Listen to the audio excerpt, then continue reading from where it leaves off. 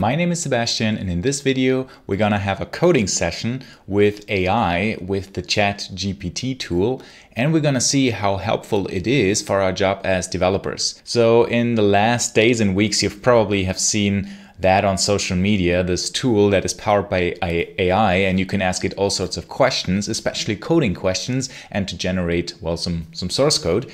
And well, it would give you some answers. And with this, that's actually very interesting um, how this is being built up and also that it can code in some sort. And to start it off, we will just, you know, you probably have seen such an example the, this is the Jet application. We can just ask it, for example, write a Java Hello World application. And then it will just generate some code. Of course, with that, you have to be careful because not always is the code correct and it will come up with some sometimes interesting or weird answers. Well, also to be fair, in a similar way, if you would go to Stack Overflow, very often the answers aren't correct or you need to double check and uh, things like that. But that it can come up with an answer that already gives you the explanation as well is actually very interesting and I think pretty impressive. Okay, but we don't want to do hello world, that's boring. We actually want to see how it can help us as developers. Now, uh, first of all, I want to say if you're worried about AI taking away your jobs, I can say don't worry. I mean, first of all, this thing does the same uh, mistakes as some uh, junior uh, developer or a person who doesn't know what they do would do. And also, actually, quite obviously with programming languages. As always, if you use any programming language, you have to be very specific and precise what you want to do. And the quite definition of something that describes a program or application up to the last detail is in fact a programming language. So it has happened since the beginning of computers that programming languages get more and more abstract and we build upon each other. And you know, it's much faster nowadays to write an enterprise application that does some database transactions than it was 30 years ago. So that's just a normal, uh, well, evolution of time and evolution of things. Of course, this is a big jump in AI that it can help us to be more effective. And this is what we want to have a look at. So for example, if I have some Java application, I will give you some Java examples that deals with coffee so I have my coffee shop application that is also part of a video course I have for effective testing. Now we want to see how this can help us actually by just testing or uh, by examining this application. And the first thing I want to show you where this AI tool can really shine is to create some test data or any sort of data where you have a lot of permutations or where it needs to generate and come up with some examples or some things. For example, you could say, um, I would like to have some example data, let's refresh this, that just would create some CSV files. So for example, write a CSV file of English names in the format, and then you could go, uh, for example, full name, uh, first name, surname, date of birth. Let's also provide some formatting. So as you will see, you can actually be very specific here already and it hopefully will come up well with something. Let's see. Um, just to notice this, these examples, I mean, I've tried them a few times, but of course you always come up with some slightly different things. So if you insert the very same text, you might and will come up with a different answer, or especially if you change um, some things in, in wording, then it will just generate something else for you. I mean, this is not a program per se, a regular one. This is this um, AI software that then uses these approaches. Okay, so now I have already a CSV file now with three entries. And also what you can do and what I really encourage you to try out if you try this tool is to make use of the conversational tone so that now I started something, I asked a question, it gave me a response, and now you can follow up. So having a follow up question is to say, oh yeah, that was already quite nice nice, but uh, can you make it uh, with 10 entries? So I like this, I want to have exactly that, but now just with more data. And then it can come up with some more example things that then you can use. And as you can see, it's already kind of interesting because it um, I just wrote, you know, I didn't provide anything. I wrote full name, first name, surname. And it did create a full name out of first and surname. So, you know, whether or not that makes sense uh, to you. And now that's also um, interesting because we could even make some sort of simple calculations or some sort of obvious or logical things here. For example, um, thanks, but now change the format to, and now what I would like to do, I would like to add the age. And now the age, um, age as of today, and just sometimes it has issues with that. I just include uh, the current date and then let's see what it will calculate. I hope that it will calculate actually the well number of years and if you double check that as of uh, 2022 that should actually be correct um, which is kind of interesting already because I only provided this string as, you know, to say, give this format, and then it tried to come up with something clever. And, you know, as you um, see, this is uh, sort of correct. They are arbitrary um, would depend on specific names. Okay, here it already explains, you know, it adds some disclaimer, but as we can see, oh, okay, it looks correct, you know. As always, as I said, you want to double check, but especially to get started or to create some test data, you know, that you then can use. This is just perfect because, you know, it um, makes you generate these things much faster, much more efficiently. So we can say, okay, great, um, we can now have a thing like that. And again, you can come up with some sort of explanation where you say date of birth, you know, in a specific format, and it will come up with something, you know, uh, more or less usable. Let's um, try this one more time with some coffee example that I will show you also with, with some code examples in a, in a second. So now we would say um, write a CSV file of uh, coffee beans. So assuming I want to have my coffee example where we say we have something like a you know, coffee bean coffee uh, that you can order as beans that then you can use uh, to make coffee. Uh, for example, to say, well, bean name, and then um, let's get rid of this first. Something like I have a coffee bean that comes from a specific country. Then we see, okay, which countries will it actually generate for us? And then something like, okay, we have a roast. Um, and now I say one off, and you know the syntax how you want to write it. Of course, you can write it in almost anyway. It's, that's of course trial and error how it works. Let's say I would like to have some um, light roast, uh, some medium roast, and then some other uh, things light, medium, dark, and then um, flavor. And something just a sweet flavor or um, a fruity flavor or chocolatey or nutty flavor, something like this and then just see what that does. So that's also interesting. Let's see what that um, creates for us. And we see that we also have some interesting names. So it, it adds something about the country. So it, you know, I, I think it it sounds really so, sounds legit, and it included some example data. For example, one medium roast, light roast, and with just you know some permutation of things. So especially if you're very specific in of saying, okay, I want to have data in exactly this format, then it can work really well for that. And then you can say, okay, you know, just add some other criteria and with some more obvious things like here the country, or you can add the continent, or as we had the age, then it would just come up with something, you know, that is already sort of usable. And especially to get started, this is really helpful for the test data. Okay, so that's about test data, which I found quite helpful. But what about actual code? So if we say, well, we would like to generate or use some code, is it actually helpful or is it just, you know, creating some, some garbage? Now, with that, it depends, of course, and we will see, and you probably will get different results if you try it yourself. But now I would like to um, just, you know, try this out if it could come up with some test code. And especially that's going to um, be something that we're going to look at because it's quite interesting to see how does it deal with this uh, test code situation because quite obviously with production code you might to be uh, you might want to be a little bit more careful because then you need to double check it well as always. So the same if you go to stack overflow and copy and paste code you always need to double check to see what are you inserting there and here it's no different.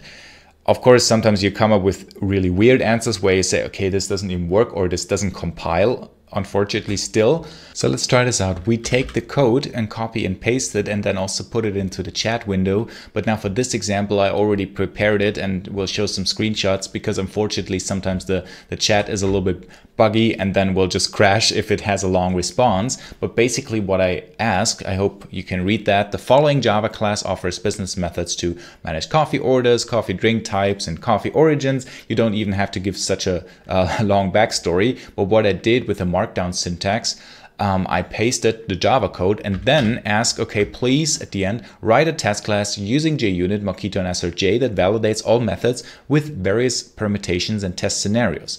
And then what it came up with is actually something that looks kind of in, uh, interesting and something similar that I would come up with with while playing JUnit. But if you have a closer look at it and try to um, zoom in, it is now a little bit um, not that nice to read, but you get the idea. It will set up these uh, dependencies and then invoke some coffee shop, but you will see that this actually, the constructor, it doesn't exist. So it came up with some arbitrary code, probably based, some, uh, based on some other examples that you find online if you use constructor uh, based injection, which here we don't have, we use field injection and actually it got the field injection so you know it could have known. So you see it makes just some some different mistakes. So if you uh, take and copy and paste this code it doesn't fully work but i would say also you know it's a it's a good start you know fair enough because then you just change some things. You you will obviously see all of the compilation errors and you can try it out and it's just a test you know like uh, what what could go wrong basically. Um, and then you can um, see what is uh, doing there as well. So for example, if you say, here is the, the test method, test get origins, and then the next, uh, next one here of saying what does it do? And it didn't have the code for this other origin class and, and things like that. So again I hope you can I can read this in the video but you get the idea. It will create some stuff that just looks like um, a test and actually will uh, do some sophisticated or some some interesting things. So i would say sometimes it's it's um, helpful to get started to just say okay what does it do then but now there's more uh, to that. So now what we can also say, and this is kind of interesting because it uh, it uses this approach of say, well, you know, ask better questions and you will get better answers. Uh, where we say, okay, instead of having that, um, we could come up with some more constraints and, for example, make use of some delegates and abstractions that we build up in our test code. So for example, this is something that I talk about um, in, well, the, the content that I do, and I have a video course on the topic of efficient testing, if you're interested in that, link down below, where I say it's really important to have also proper test code quality in your test scope and to come up with delegates. So for example, what I have in this use case test in my well, test uh, project is to say I make uh, sure, uh, sure I use some test doubles, which here are just classes that either extend my production code or just you know and um, extend and enhance it in some other way that then can be used as part of your test now the interesting thing with uh, the, the chat AI is can we use that? And yes, we can actually. And it's, it really makes sense because the better questions you ask, the better of an answer you will get. So what we can do, um, let's see, I say the following two test classes are test doubles used in test scenarios as delegates to improve a better test code quality. So write another test for the coffee shop, this time using the two, these two test doubles. And then I just paste it in what you just have seen, this coffee shop test double, and um, then also a um, barista no, it's called uh, order processor test double. So basically I just pasting some Java classes with all of this stuff. So for you to understand, that's this one and that one, which are two test uh, doubles that then should be used as dependencies. And they uh, make sure they set up all of the mocking here. So my test gets uh, much more readable and more maintainable. And what the test should do, so that's well, what I would like to have, should come up with something like this. And it's kind of interesting that um, the AI example created uh, pretty much that. So we just um, zoom this correctly so you can um, read it maybe. Here's an example test that uses these two test doubles to test the coffee shop class. And then it came up with actually something that looks very, very similarly. We say, okay, it will create these two dependencies. It had a look or, you know, it saw the constructors, so it uh, might um, just invoke them correctly. And then we have test process unfinished orders. And what you see here is very similar. Of course, it didn't know which coffee types or so and origins it had, so it just guessed but then you see the methods answer for unfinished orders, process unfinished orders, and verify processed unfinished orders, which is actually exactly what we have here. So we have some yet another um, method or class to create these test orders, but then, you know, we could provide that as well, and you could go on and on but just that it will invoke these correctly is kind of interesting because it only got the names so it doesn't know what they are doing of course you could explain it but well, you don't even have to. It's kind of like if it um, uses the schema that you would expect from a test, especially this given, when, then, and things like that, like verify and the business methods, then it here just came up with the similar example of or similar thing that actually works here. So it says, okay, um, the process unfinished orders, for example, that's the business method, and these two are just the test testable methods to set it up and to verify it later. So this already worked. So it came up um, with some uh, example here. And it's quite interesting, especially from my experience, also by playing around with it, the more um, constraints you give, so the more boundaries uh, you set up to say, okay, do this, but exactly in this format or using these other delegate classes, the, uh, the better code it will create for you. And now let's have um, one more example at a different technology. Now we're going to use Cucumber and some Cucumber tests with some step definitions that um, you can provide as such with this sort of syntax. And then you can have a Cucumber Gherkin syntax feature file. It looks something like that, where we say validating coffee orders, and then I would like to create some orders in a specific um, way, maybe in a parameterized way or um, outlining several scenarios. So what you can do, you can also take these step definitions and say, well, just please create some um, cucumber tests. So I've tried that as well. I said, here's a um, cucumber step definition class and just paste it in the step uh, definitions again as Java code and then say, okay, please uh, create a Cucumber test code that validates the acceptance and rejections of coffee orders for a variety of data. And then, well, it uh, comes up with some interesting uh, things. So first of all, it actually invokes these methods, which well, yeah, works, but that's not really what I what I plan to do. So that's also interesting. And then you say no, you want a Gherkin syntax that you can put into this feature file. So that's usually how you would use this technology. And then it came up with something well that does work. And it says okay, uh, valid validate an order with uh, valid types and invalid types. So it says okay, mocha for example is, is not an, a valid um, a coffee type. So interesting. In, in my project, that's also the case. But you know it can come up just with some data.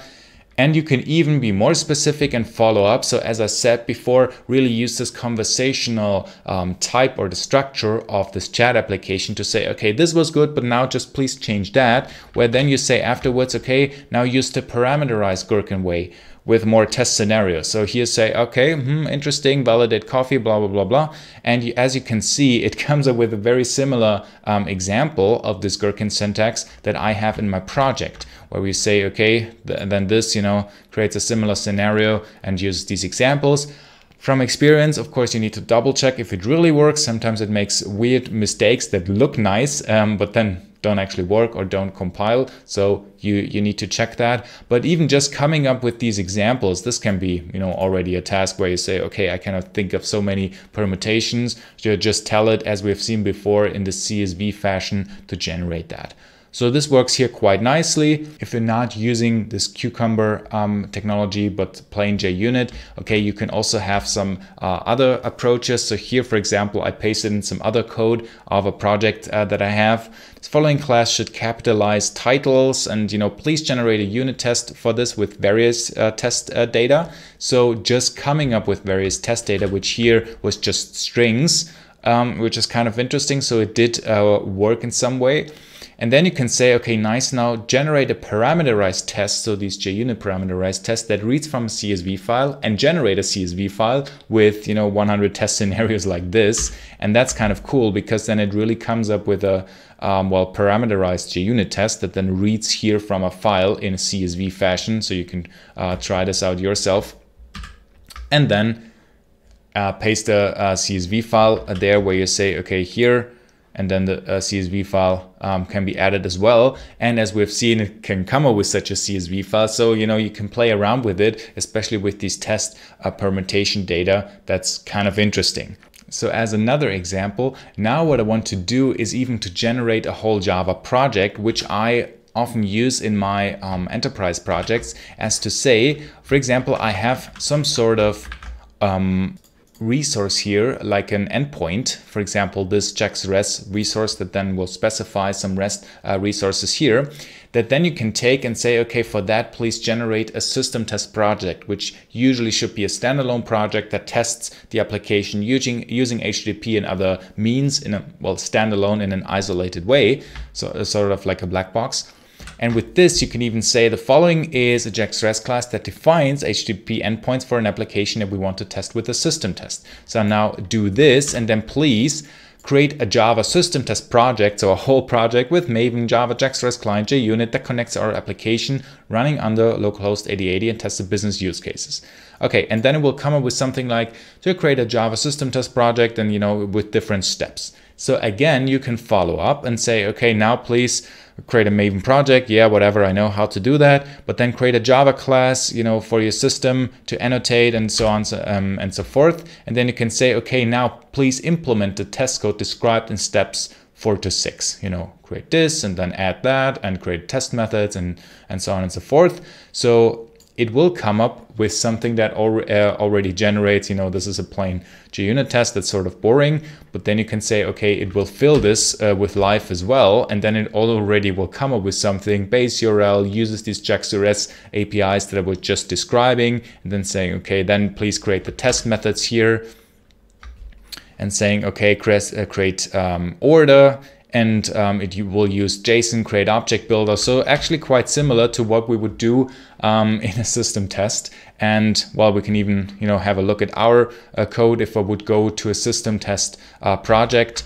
and say um, here I would like to now use some sort of um, system test that goes against the backend. Let me show just very quickly uh, create order test. So in our example, we again make use of delegation, but then we could tell this or use this here as well, where um, the actual usage of this JAX-RS client is outsourced in another class.